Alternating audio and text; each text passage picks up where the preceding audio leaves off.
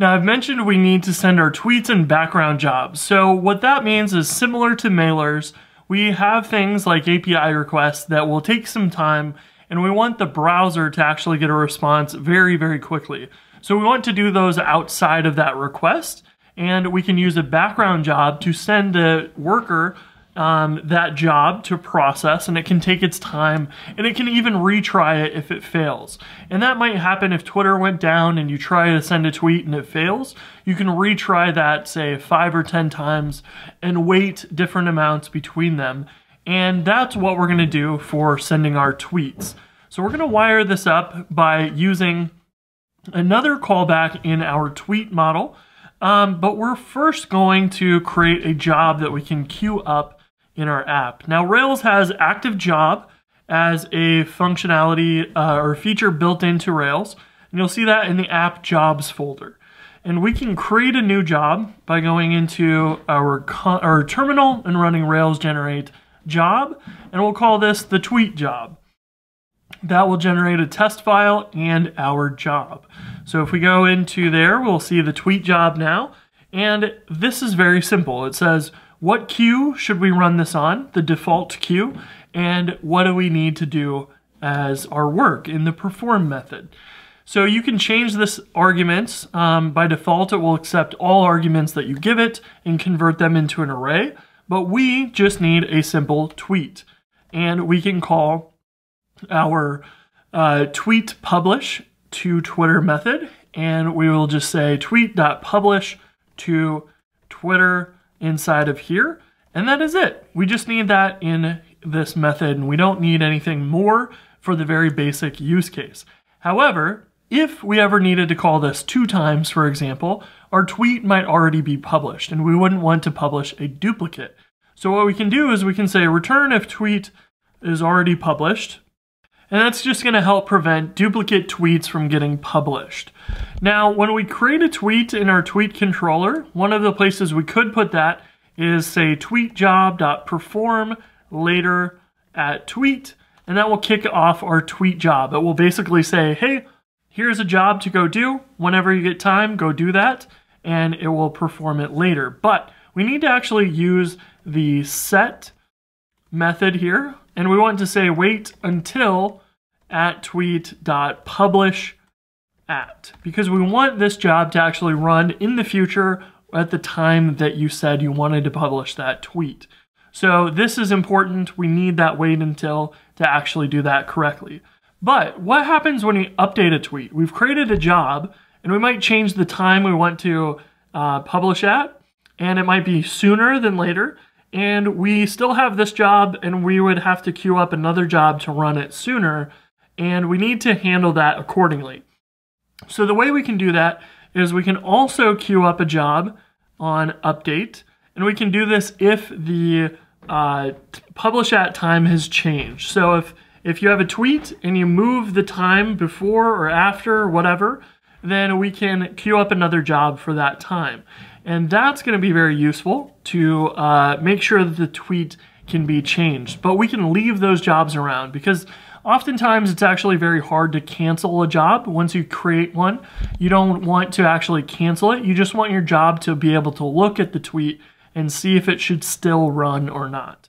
And that's going to be very helpful for your jobs and logic and retrying and all of those things because when things get more complicated, you're going to want to just kick off those jobs and have them do nothing sometimes. And that will be an easier way of managing them rather than trying to cancel a job because that can be um, pretty tricky and cause some issues. So it's better not to do it that way.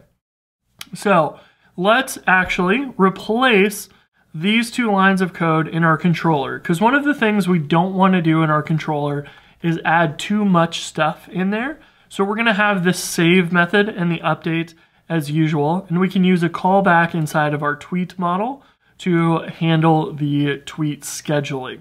So what we'll do is we'll call after save commit, where this has been committed to the database and it's been saved, and that will happen on create and update.